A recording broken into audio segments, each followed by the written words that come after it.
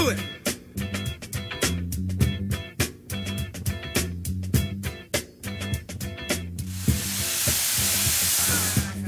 You got it,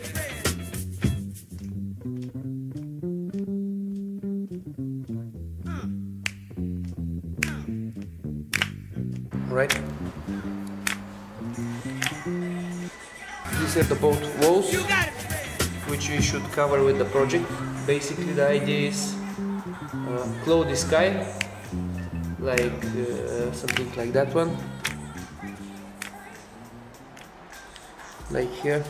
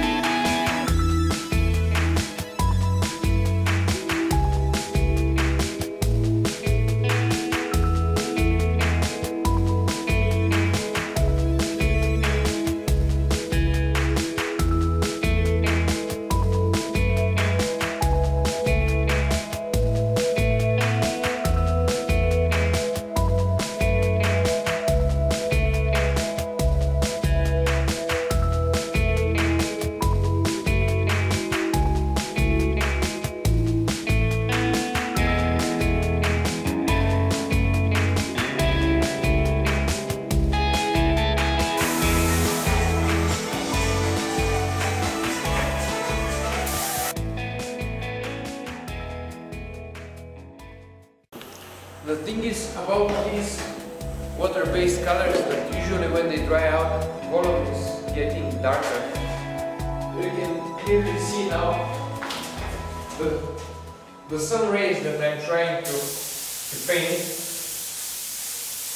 how clearly visible they are. And that's even too much, but I'm not afraid because soon they will almost disappear. That's why I was bravely spraying everywhere, spreading this color, uh, knowing that the next step is to mix an even lighter color and warmer color, which I will use for just the highlights of the, of the light right the light source.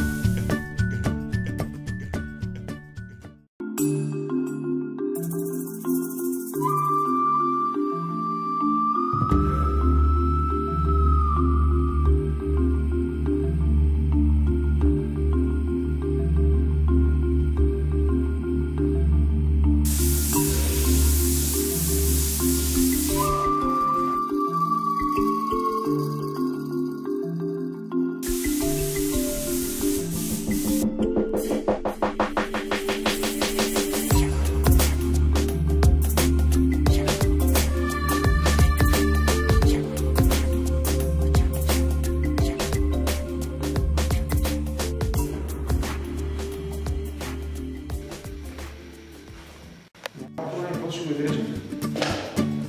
Ah. Hey, guys.